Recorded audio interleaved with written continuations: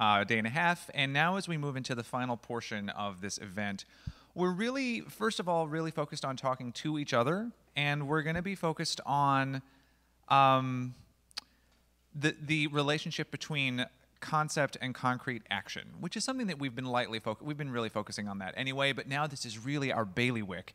And to for this next hour, one of the things that we're going to be talking about is the question of what would you do if you had unlimited resources to engage audiences.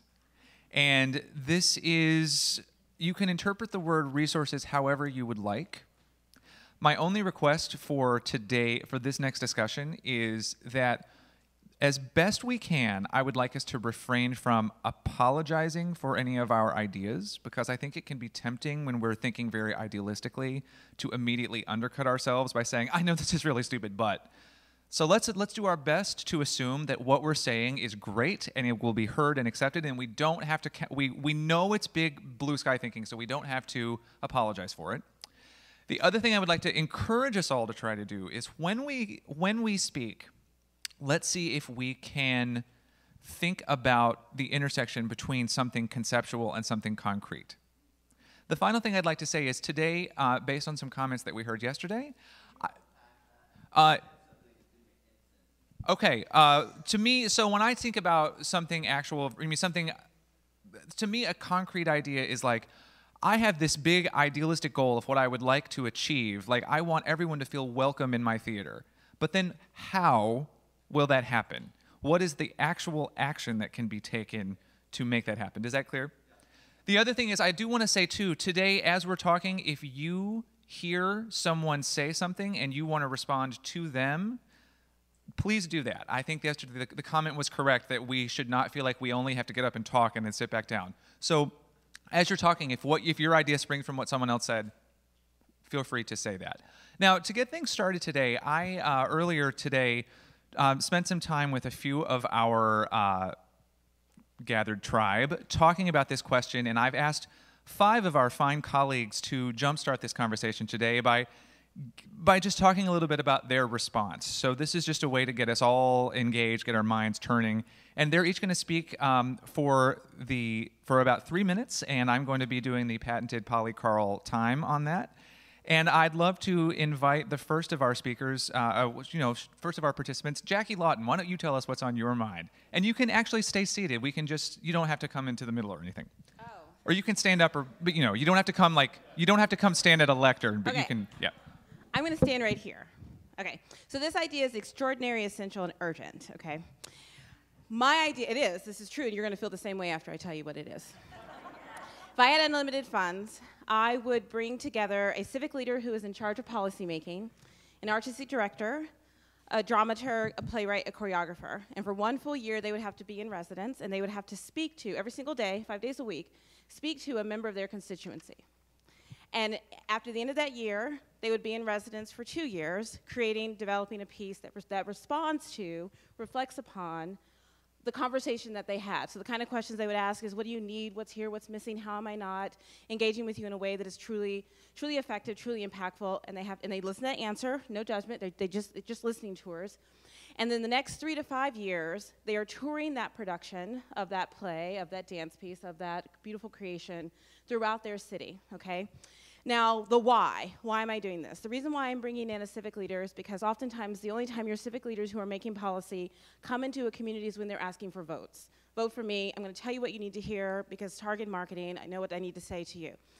Similarly, when you hear from artistic directors, they're telling you, come buy tickets, buy a subscription, because I have a play that I'm deeply in love with, and I've brought together these amazing artists that I need you to see, but we haven't actually spoken with our audience about it, okay? So those two people who are in powerful positions are now having to engage every single day with their constituency. But for all that, my core belief is that theater is the most powerful tool for social change in this country that we have. Next to that is storytelling. So we combine these two elements together. Of course, they're intertwined, you know, they're intertwined with each other. Secondly, theater should be considered not a luxury in arts and entertainment, but a civic contribution to your community. This is why this idea is essential, extraordinary, inspiring, and you should apply it today. And uh, next, we'll hear from Anna, who's just right there. does anyone want to respond to that? That's awesome. um, um, I'm going to sit. I, I, don't like talking in public, so I feel much more comfortable being here, if you all don't mind. Um, so I actually don't have this pie in the sky radical idea. I actually think it's something really close to our fingertips, and I'm hopeful that I can enact it very soon with some additional resources. And so it's, it's right in front of me. Um, we have done for several years now what we call our lobby experience at the ART. Um, this is the space that is the predominant main stage of the theater. We also have Oberon, which is our club theater, which um, I was talking to Mark earlier, that has almost inherent audience engagement built into it because it is very social space. So anything that we produce over there tends to not have this kind of thinking. But we've talked about how do we steal those ideas, that feeling that we get from Oberon, and put it into our um, main stage, which is a traditional building built in the 1960s. It has a big glass and marble lobby, and it's a very uh, strange uh, configuration to work in. And so, myself and the marketing department and um, the education um, and community programs manager who actually reports to me because we see that as part of audience engagement and development. Um, so education reporting into marketing and marketing and artistic and education working together. Um, we curate um, what we call the lobby experience for every single show. And we've started to, as we've done it over and over, we started to see what works and what doesn't work and started to drill down to certain principles and how we curate that. Um, so we work with our community connections partners, which is um, could be a variety of different organizations. This last show we did, we worked with Artists for Humanity here in Boston, um, as well as a local artist and also um, uh, one of our education experience partners. And then because we're affiliated with Harvard, we also look to use holdings at Harvard to um, additionally give context for the work that we're doing.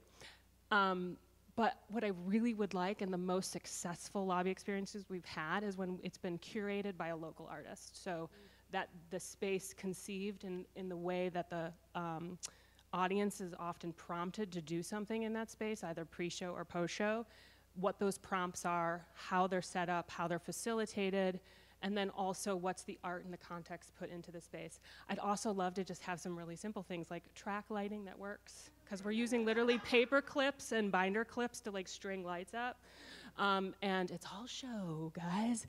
And then also projection spaces. We've used like really large white post-its from Staples to like make projection surfaces on large glass windows. So anything that we can do to like you know, band-aid that space or duct tape that space. We've done it, so we know what works in there. And we often have the artists that are working on our stages as well talking to us about what they think would um, resonate in that space. So all of those things are coming together in what's a very simple program, but I think we can take it to the next level. And I just want it to have the same uh, level of purpose and engagement that what happens on the stage. You know, it just needs to, to, to equate with that. I think that's awesome. So, uh, what I think we need to do is I think we need to truly invest um, in the natural and spontaneous energy at the heart of our form, which is a group of people who come into a room together, bounded by time and space, artist and audience, to take a journey into the unknown, right? It's um, time bound and it is inherently based in community. I think one thing that we have to do in order to do that is we need to make sure that we are relevant to the places where we are.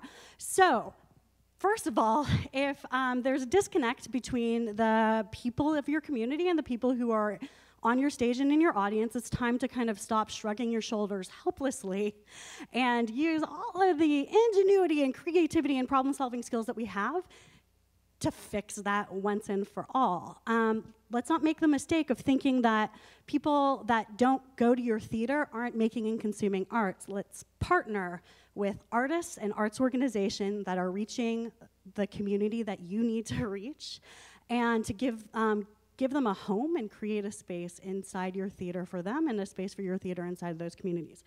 Um, so, what does that look like? Um, one thing is that I believe spaces are metaphors, right? So you want to create spaces that foster meaningful connection and conversation. Make sure the culture of participation and meaningful connection is palpable in the space. Um, Adam Bach is right. artists are really good at creating experiences and making form reflect content. So what if we commissioned an artist not to write, you know, the two hours between lights up and lights down, but to write the entire experience of the evening from the moment somebody comes on um, to the campus?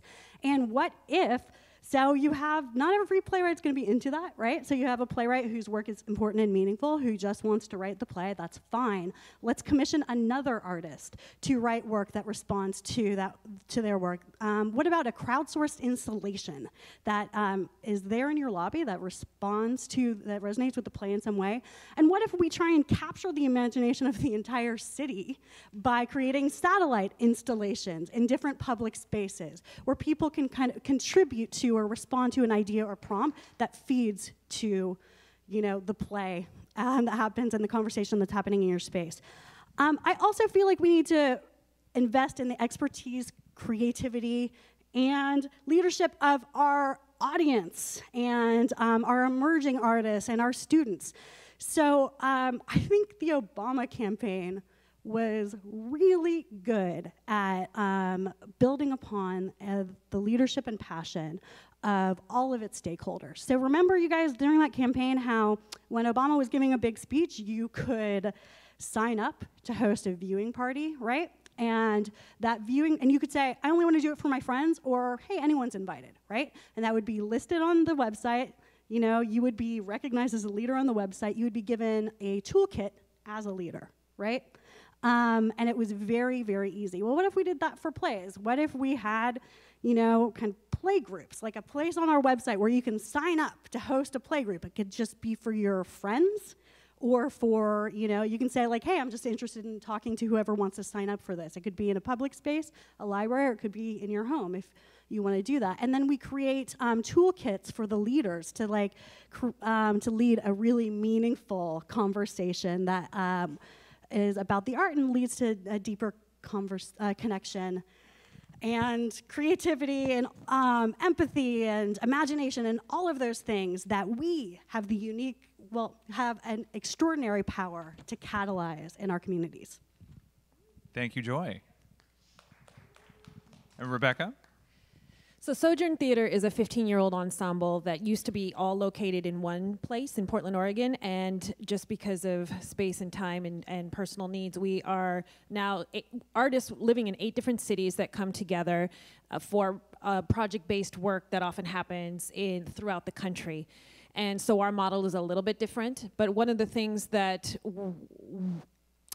that this question brought up to me is a way, sort of like a three-prong approach to engaging a community. And some of this is based on the work that we're actually already doing. So finding that time and finding, like as, as you folks were saying, those, those stakeholders within the community that you need to partner with, whether they be civic leaders, whether they be uh, art partners, whether they be non-arts organizations who are dealing with something that is important, uh, an important civic or social issue, and creating those partnerships to really, so when you're creating work, it's in conversation with what is the need, what are the needs of the communities, and then creating, uh, in this case, the example that I'll, I'll get to in a bit, is a performance event where the audiences are allowed to engage a curated audience, a designed audience, which has people that are non from non-traditional audience uh, going populations to come and be part of it along with more uh, traditional audiences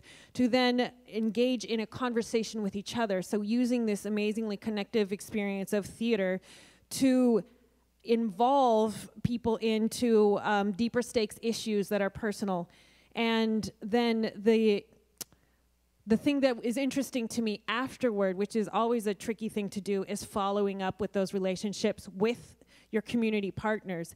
And so in this dream world, this would be a, a, a continued effort to keep working with these community partners and to be responsive as an arts organization. We come in often very much and we'll work with an organization and then we'll leave.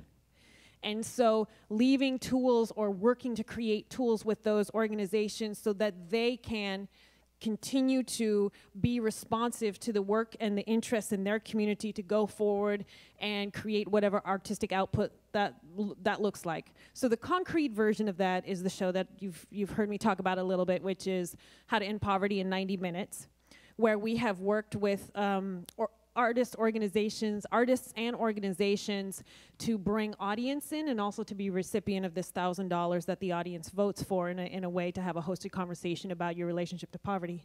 The ideal would be if, if there was this sort of structure that could be done nationally in whatever the issue is that could have a, a an effort to have the the third phase, which is the continued dialogue and the continued work with the partnerships. And the why of that for me is because once you've gotten people into this emotional place that theater is very powerful in doing, then and you have people relating to each other in a conversational way, then what is the, the step afterward that allows people to continue this conversation and then affect social and civic change based on that? So ideally, all over the country that is happening in different models in partnership with arts and civic organizations throughout the country. Thank you. And uh, finally, Christian.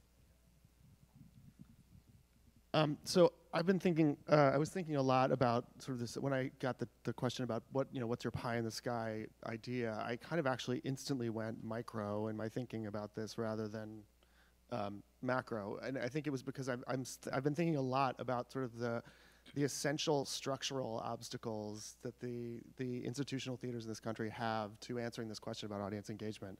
And it stems to me from the origin of the not-for-profit movement, which was in many respects inherently elitist in its idea that it was we were somehow bringing art to people who had been deprived of it, even though, of course, there were always local arts. And of course, that was not anybody's explicit intention, but there is an underlying um, bias, I think, in, in the very creation of, of the system that many of us have worked in or work in.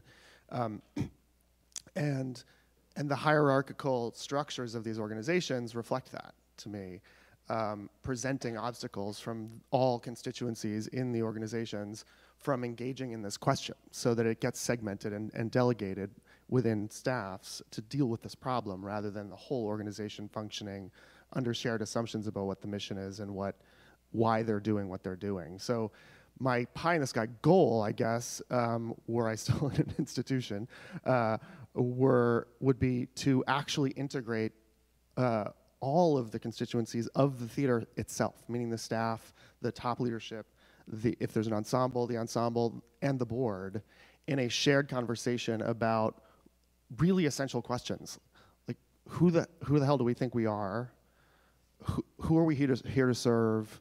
What is our community actually, um, so that the conversation about how to in- increase audience engagement or find a new audience actually is a shared expectation based on agreed upon values and ideas, uh, rather than a, a, very piecemeal approach um, to that conversation. I think uh, it's pretty rare in my experience for all of those constituencies to have equal buy-in to the work that's being presented by the organization.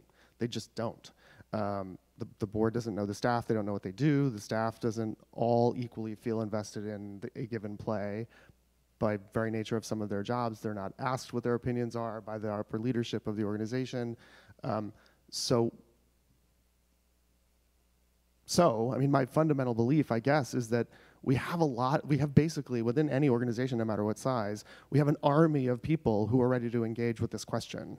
And it's the staff and the board and an ensemble, assuming they have shared assumptions.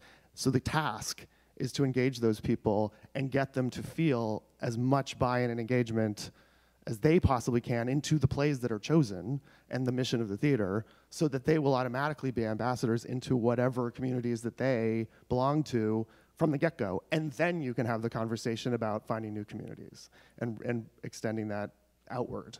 Um, so my solution to this in the immediate would be really just twofold.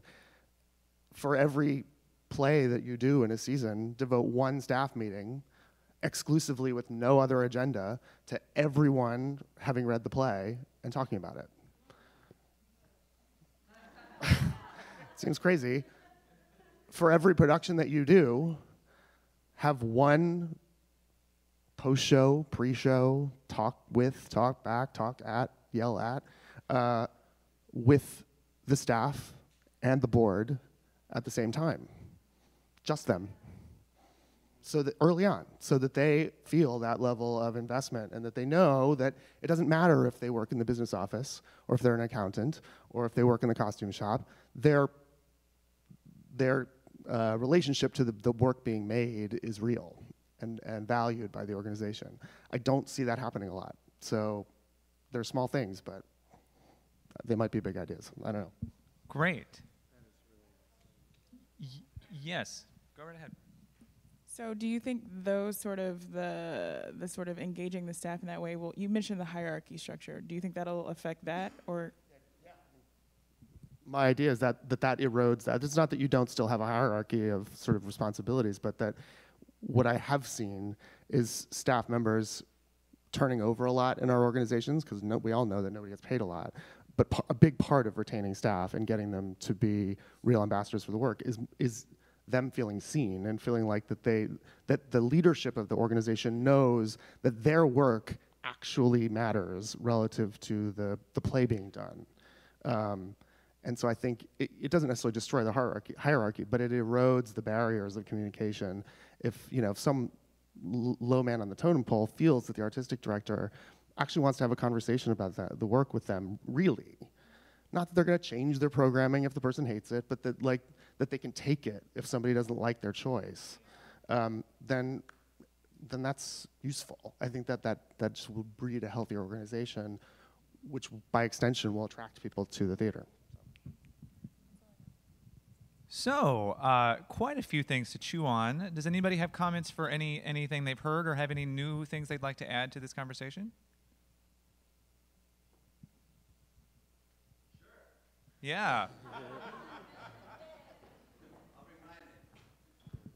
So, uh, my pie in the sky, if I could have anything, would be I would have a playwright revolution.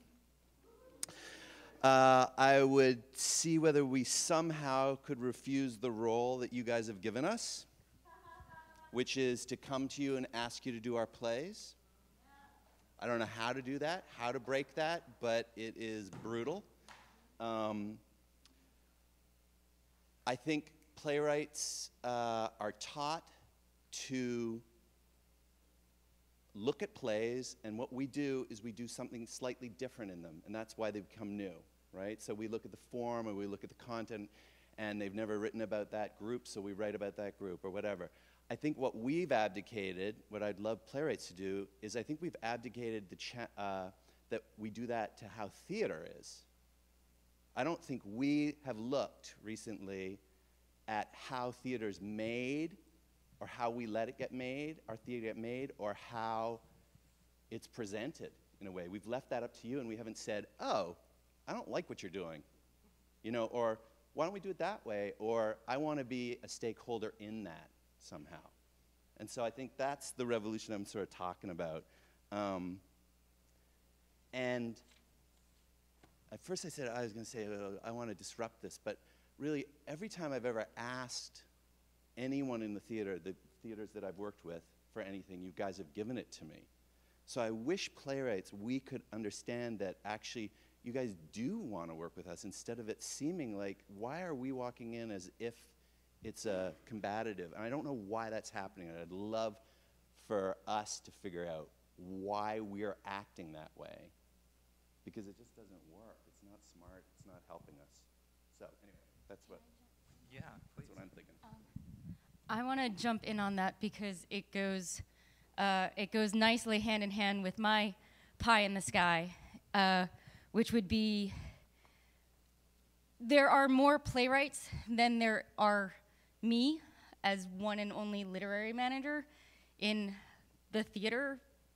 Um, we have resident playwrights and we have visiting playwrights that come in for our season. I feel like, one, we lose touch with you so quickly when you leave us. Um, so, finding ways to not just invest in the specific production, but invest in the playwright as an artist, in your entire span of career. And two, find a way the the word bridge has been used a lot this weekend and I love it because I keep hearing literary managers called gatekeepers and I want us to be bridge builders and find ways to invest in and work with playwrights that we're not necessarily producing at this very moment. But just because we're not producing you at this very moment doesn't mean that five, ten, two years down the line, we're not going to be. And you didn't write one play, you have an entire body of work. And if we're interested in you and your voice, then we're interested in all of that. And that we need to find ways to make that dedication and, and keep it going and keep it active and keep the spirit that we get during these convenings and carry it through the whole 365 days of the year. So I don't know exactly how do you do that, but that's my pie in the sky. Any? Uh, yeah, Laura, who's got the microphone? Yes. Sort of, so going off of what Adam said and, and going off of what you said, um, don't be afraid to be more honest with us. I know it's really hard. I know we all like the idea of transparency. I think the idea for a lot of people, especially like when you are not, and we know like we know the hierarchy so well at this point. Like we know that you, you know, you may be here, but you have to get this person's okay, or like this person wants to do it, but there are reasons that you can't. Don't be afraid of being like, we like it, but not enough to do it. Like we can take it. And you can also tell us why you don't want to do it. Like, I swear it makes us better writers. So be more honest with us. I love that. I promise. Like, I swear to God, right? I think it would be good. Um, the second thing is, this is sort of building off of uh, Joy, what you said about the, I was the one who said Disney, the designed aesthetic experience of a show, like a show going experience. Um, one of the things that I love about working in the video game world is that all games teach you how to play them, right? So, I, does anybody play games here? Raise a couple, like four people. Okay. okay, awesome. Um, so one of the things I love is that um, games will teach you, even if it's a really complicated shooter, even if it's a really like weird indie game, it will teach you the controls. It will actually teach you how to navigate through the world. And I think that sometimes, again, and I think like if we asked for it, I think people would let us do it. And I think something about chilling the spaces out or making them yes, like I, I want to do that, but I also want to tailor the space. I want to tailor the entrance. I want to tailor the exit in the way that Disney does. That they're thinking about the, the, the process, the experience of waiting in line, and they're saying, how are we altering that? Are we going to bring a parade through if you've been waiting in line too long? Are we going to change the music? Are we going to like have one of the costume characters come over and like start an event or whatever? They're thinking about this stuff. And I think that, um, like, I love going to see shows at Playwrights Horizons, and I think Ben, I don't know ben, where Ben is, Ben was talking the other day about the, uh, the take-home interview with the, uh, the hard copy interview with either the playwright or Tim or something that you're taking with you. I, I love that. I haven't been to New York in a couple of years now. Um, my what I always remember about leaving a show at Playwrights is walking down that really, really, really long four or five flights of stairs to the street, trying to talk to my aunt over the shoulder and being like, "Did you like it?" I kind of like, "Oh, sorry, there's like something in the street. Sorry, my bag hit you." Like that is my experience of leaving a play at Playwrights Horizons and then like going across the street to the bar so part of me is like, can we alter the staircase? Like, will somebody let me alter the staircase? will somebody let me alter the lobby? How can I teach the audience to see the play? And I think it's all just different vocabulary words for what is the curatorial lens that we are giving the audience to see something through and fuck it like we don't have to do a talk back like it doesn't have to be towards a talk back it's just about giving the audience a tool like something to do in the play something to bring inside the play like teach them how to watch it not in somebody telling them, but in them absorbing some sort of aesthetic experience. And I think we can do it. Like, we may not be visual artists, we may, like, I can't draw a mural, I can't do any of that. I do think that we can help design the aesthetic experience of our work a little bit better. Hmm. Uh, do you want to pass down? Yeah, thank you. Um, so, so this isn't my idea, my idea, but I, I've been saying it a lot, and I just want to put it out there. Is that I really want to challenge us as a group to redefine as an industry what we mean when we say community, what we mean when we say community theater, and what we mean by community engagement. I feel like we need to reclaim and reframe those words because they're it's a term that we often silo, and uh, it's it's holistic. It's our whole thing. But that's not my big idea. So my big idea is I want a community curated theater season. Uh, that happens in a city. And maybe maybe it's not the whole season of every theater but what if there were you know six or seven theater institutions where you offer a spot in your season that the community can vote on options? And then it becomes a collaboration across forms across artists across institutions yada yada. And, it, and it's a community chosen thing. That's my big idea. Great. Uh, Eugenie, I've, you've had your hand up for a while, so I will pass this over to you. Eugenie, um, and I will speak as an institution of one, as a playwright with multiple day jobs that many of you can relate. So I have two things, and, and they're both related to listening. And one of them is as, uh, for me as a playwright here and now, and listening um, to everyone speak and their ideas and challenges. And um, I actually surprised myself uh, that I actually could listen. Um, but the conversation here uh, sparked me to think, well, audience, audience engagement, how do we do this? And I realized that I actually wasn't listening hard enough to the things around me that already existed. And one of them in the back is I, um, years ago, I was commissioned by a, uh, by a funder to write an essay about changing demographics in San Francisco, in the Bay Area as it relates to the performing arts. I'm not a sociologist. So I didn't know how to address it, but I was going to do it because well, it's, it's a grant. Yay. I'm going to get paid to write. So I wrote a play. And because I don't know, I, I you know, demographics, I, well, okay, yes, San Francisco, the Bay Area, one in four people is not just Asian, but they're like me, Chinese American. So I thought, okay, this is about performing arts. I'm going to interview um, uh, Chinese from different generations of immigration and see what they want in the performing arts or what they thought was beautiful. And so I did this through a social service organization that my sister works with. And some of the, the people I spoke with were workers there, some were clients. Some spoke um, great English, some I needed some help with translation. And what I got was, you know, the question of what do you think is beautiful?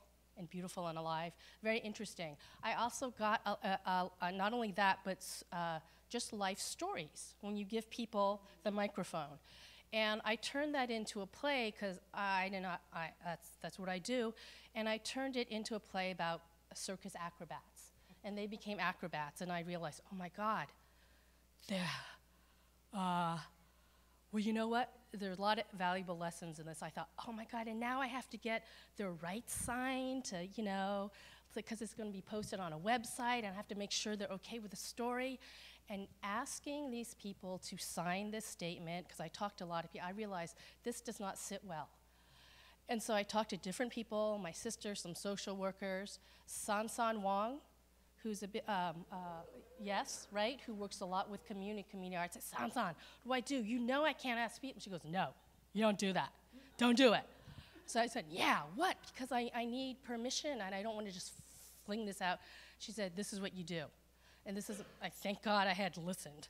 She, she said, make a reading, take a reading, take it to the agency. So I did. Gathered all the people I interviewed, brought actors, and the first thing I said was, I want you to know that what I did with your stories, I changed them, not necessarily the words, but the concept because I'm a playwright. And what I heard was a story about circus acrobats. And the form is in a circus, and it's a little crazy. I hope I am not offending or disrespecting you. And very interesting, my assumptions were overturned because across the board, these people said, circus, acrobats, we're immigrants our life is a circus. and after that, it was great, right? It was great. Great reading, really fun. and in the ensuing years, I get this through my, if I see people on the street or through my sister, you know, when are, when are they going to see that production, Mayfun? Like, this is the Mayfun, right? The worlds that I walk in. And I said, I, I don't know, I don't know how to do this, right? I'm not a producer. But it just reminded me being here is that, well, actually, I have a little seed money now from a funder. And that not only that, but something about, because all what people were saying was, we're busy, we really want to see shows. We, can you do it during lunchtime? Can you bring it to our office or where we're at? And can it be, can it be something like 24? I really like 24, you know, because it's different and it's new. And it's like, you know, you never know what's going to happen and his life is going to end. Or, hey, you know, ballroom dancing. Ah, that to me is it. Because I, I am transformed when I do that. And my aspiration is to invite my family to see me perform a ballroom dance show. So, anyway, stuff like that. And, and um, so, my concrete, doable goal um, is to bring a fantastic, high quality um, production of this one act to these people in their agencies because they have satellites. And I'm thinking, why wasn't I hearing this? People keep asking, when are we going to see this? There are neighborhood um, social service centers where people come to eat lunch or they bring their kids. Like, ah, we can do it. But it's going to be really, really good. The other thing is, this I was I was speaking in our in our small group. A lot of this um, this community, which is uh, not the community or not who I, no, it's actually who I have in mind when I write, partly. But I don't speak fluent Cantonese or Mandarin or even dialect. So what I will need to do is to find some money to not have it translator, uh, translated, but have a translator and incorporate that somehow in the show, whether that's like the huckster, you know, character or something. But that's a new aesthetic challenge that I think is fascinating and I'm really jazzed by. Um, and that idea I got from talking to um, some of my Tai Chi members who are from the different Chinatowns in San Francisco. You know, there are multiple who are saying, "Well, we want to see your plays. We know they're kind of weird, but and some people may not. You know, don't do super titles because you know not everyone's literate, right? But we want to see it and these subjects. Um, but maybe you can just some, get someone and like pop up during a scene break and speak to us in our, you know whatever Cantonese or our dialect, and then they'll sit down and we can tell by be, from what's happening because the actors will be great, and they'll be you know communicate with their emotions. We'll get it.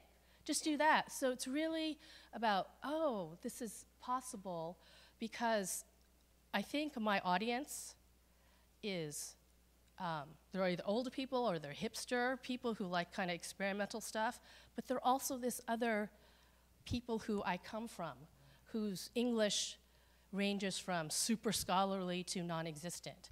And I've always wondered, how do I, how do I bridge that? And most people uh, can't come see things.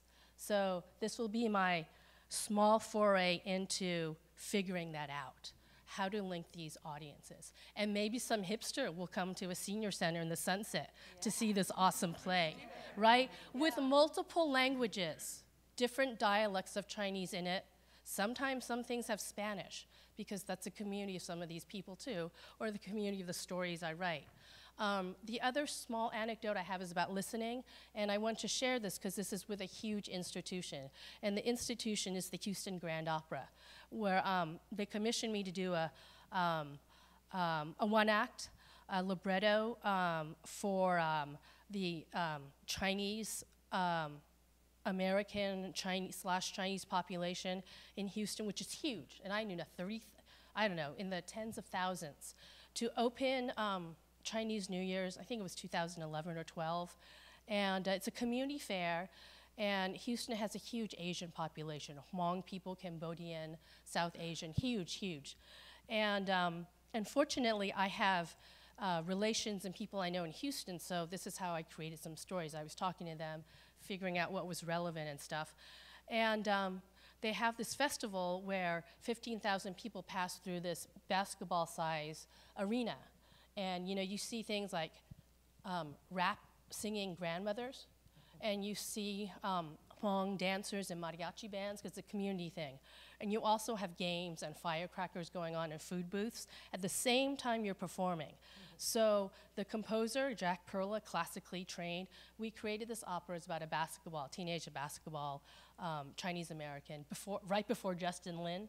Anyway, so we did that, and we thought, well, who's gonna, you know, what's it gonna be like? Um, it was chaotic. It was great because there's a fight scene on court, um, and that, and uh, we were wondering who's gonna sing this? Who? Because with all due respect to uh, opera, um, you know, uh, um, singers, Jack was worried. The composer, he goes, Eugenie, you're making them fight and move. We just have to worry about people singing, right? Well, we got these um, fantastic opera singers who decided to recreate a basketball game as they were singing these songs. It's great, and this fight. So this whole auditorium was engaged because of the fight, right? But the best thing about it, it was successful, very successful. The best thing about it institutionally for me was that I was walking out with Jack and other Houston Grand Opera people who do these community tours, and they're so committed. Um, I'm Asian American, Jack is Italian American. Uh, the directors are different kinds of white American. And it was great because at the end of it, Jack turned to me, and the artistic director turned and said, Wait a second, you know, the talent we were so worried about looking for, the musicians, the singers, they're there and they looked into the audience of all basically Asian faces and, the, and got that these faces here were not a monolithic immigrant or community face. That these were people who'd been trained in opera, probably, by the way they were leaning in, or, or you know, classical instrumentation, or the pipa, or who wanted to sing, and who would be, and Jack said, that's where we can get our talent next time. That was the best moment for me as an artist, as a Chinese American artist, you know, because everyone was listening. All right, that's it. All right, take a long time. Uh, uh, uh, yes.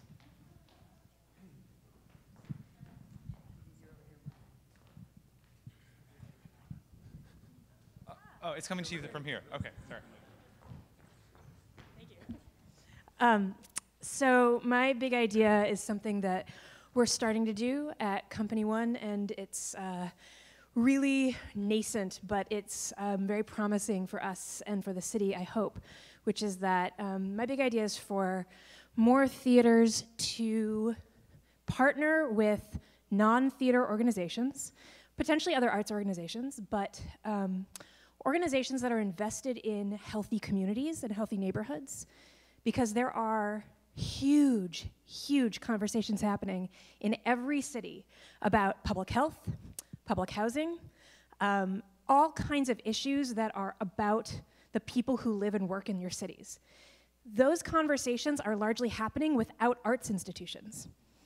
And if we want to remain relevant, I think that we have to get involved in those conversations, right? And one way to do that is by creating partnerships with other organizations, arts or not, who have some intersection with our own missions. So I think first our companies have to know what our missions are, which is sometimes a big step.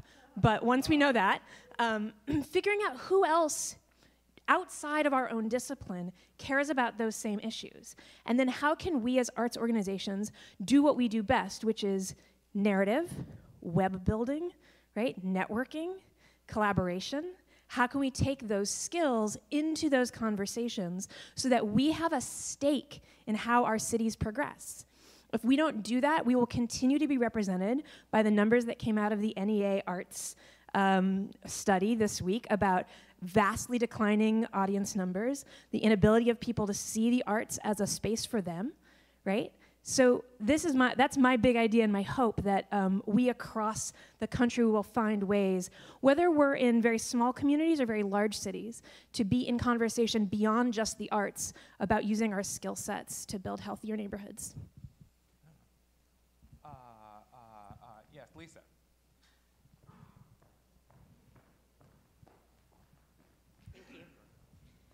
Um, I just want to, mine sort of ties into what you were saying um, about the hierarchy and the infrastructure of arts organizations. I've heard several people um, over the last day and a half talk about how there's a sort of a lack of upper leadership here. And um, I, I am that top dog at my organization, and I run it in a radically different manner than, than most that I know of. Complete transparency, interns read plays that I'm considering, and I ask for their opinion. And if anything, it makes me have to justify my artistic choices to other people. My designers are invited to my strategic planning retreat. I mean, it's radically different and extremely successful. Um, so I, I'm a big fan of, of shaking that up and making sure people need to have ownership. How can, how can they how can they be passionate in their department if they have no ownership of the work? So to me, that seems completely ridiculous when I'm hearing about all of these separations. Um, so I do have that going for me. A lot of people around a common vision. Everybody reads the play. We talk about everything.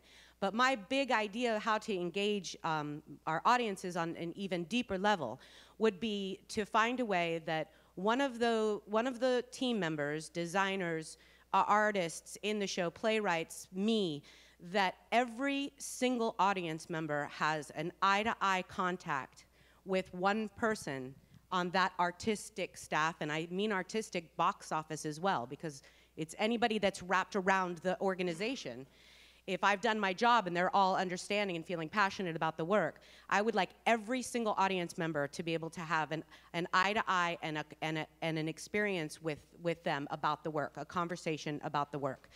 Five minutes, whatever it is, but that they can actually connect with someone um, uh, about the work ri- right away. Yeah. Um, and um, uh, I, I feel like that would be a step in some bigger picture uh, ideas I have about intrinsic impact being a much bigger part of the conversation than the economic impact of what we do. Great. Uh, Liz, yeah, I saw your hand go up. And then Salisa will, after you, Liz. Yes. Um, I just, um, I just want to uh, say, in all of the really exciting things, that, pie in the sky things that people are talking about, in terms of, uh, you know, reconceiving um, infrastructure and, and paradigm shifts and and generosity and and uh, you know, rethinking all of this, uh, I want to put in, you know, sort of jumping off of what Adam said about the playwrights revolution, and um, the the I, would like to encourage everybody. My pie in the sky is that in all of this thinking, that everybody doing all of this thinking takes into account the fact that playwrights uh, can't live. That you know we don't make a salary. The royalty model is broken.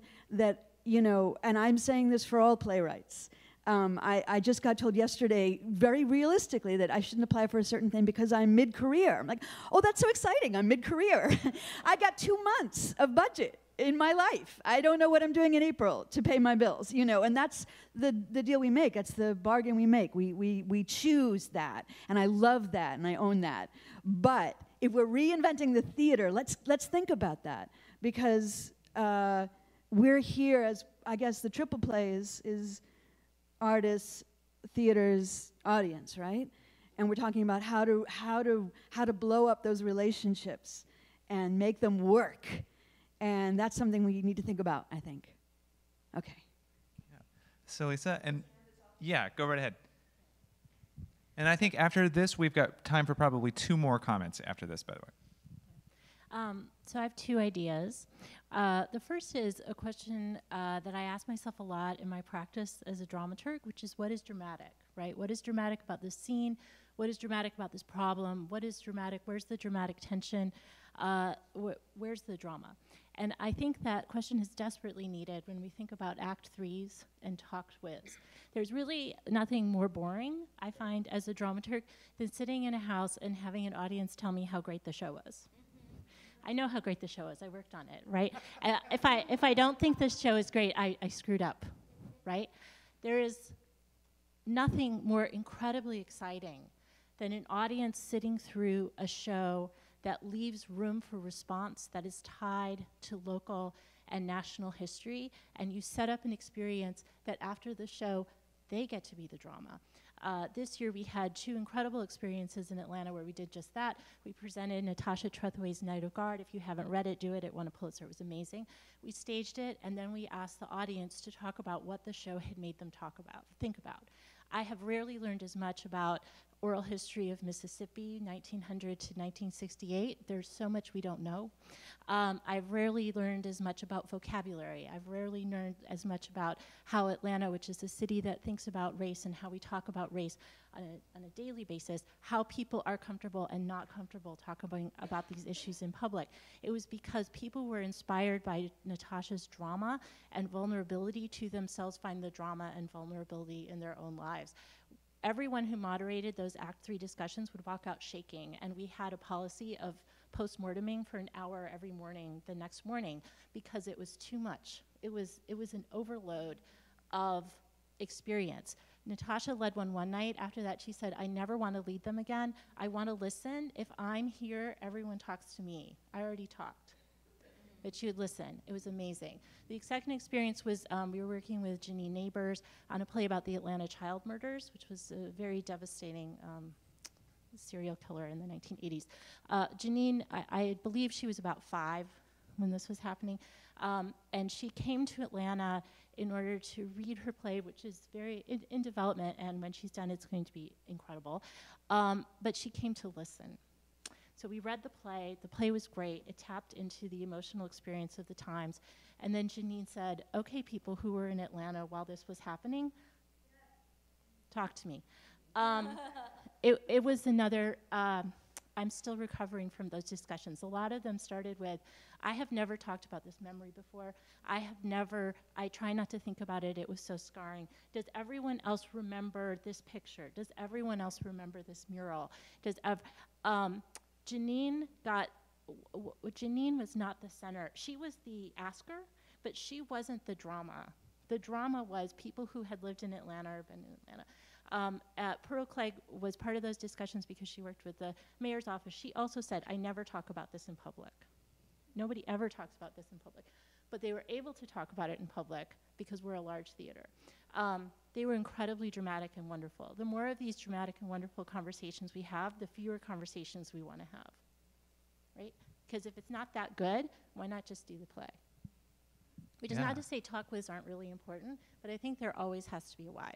Then um, my second big idea, which is more of a big idea, I guess I was testifying a little bit, but um, I hear childcare, women buy tickets, women and leadership a lot in this room, and then I hear a pause.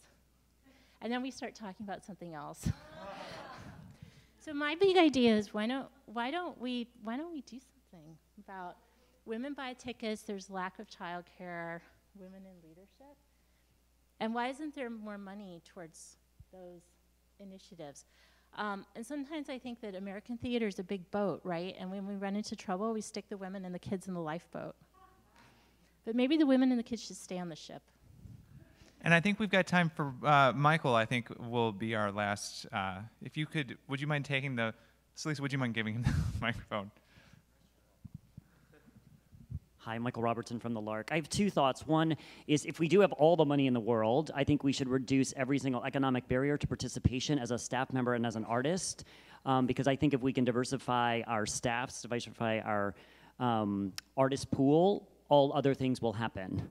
Community will change. So I really think if we have all the money in the world, let's all make a living wage and be able to retire and to pay for our health care. And let's let artists be able to do that too. So let's just get rid of, like, wh- why do we even have to worry about a paycheck and can we retire? right? And can we pay for childcare? Um, the second thing is, I think um, what I love, someone was saying earlier, do we have too many um, convenings in the field? And I actually think it's the time I see people in New York the most. do you know what I mean? I spend time actually with people in my own community, in a different community, because there's no time. So I would love a national sabbatical and observership program. So basically, it's all the money in the world, so you can pick where you want to go for a year, and there's enough money to pay you that fabulous salary that, that you're getting because money is no object, but you also get to pay someone to replace you while you're there. That's a great opportunity to diversify leadership and give someone the opportunity to be you for a year. So I think it builds in a bunch of different things to that. so I also, and so the sabbatical can be go to Tahiti and paint if, it, if you want that. But the other piece would be an observership that we actually get to sit in each other's chairs, in each other's boardrooms, in each other's marketing conversations, meet each other's audience, see each other's rehearsals, because we just, I, I feel like I just don't know people intimately. I just don't know your processes. I just don't know how you make your decisions. We talk at the bar, we come to these convenings, but I think it's very different to sit in, an, in someone else's organization. It's like going to someone's house. Don't you love it? Especially in New York, it's like real estate, right? It's like, ooh to see how the other people live. I don't know if it's a, if it's a half. Um, the other pieces live. So anyway, I would just love us to see each other's work and all just be paid a fortune for what we're doing, so that we can reduce the economic barrier to participation for everyone who wants to be involved in this beautiful thing that we do. Great. Well, thank you all very much for those very, very, very interesting and very passionately articulated ideas. Uh, we're going to take a short break. We'll come back at 2:45 we'll, we'll start promptly at 2.45 for the final element of this convening. Thank you very much.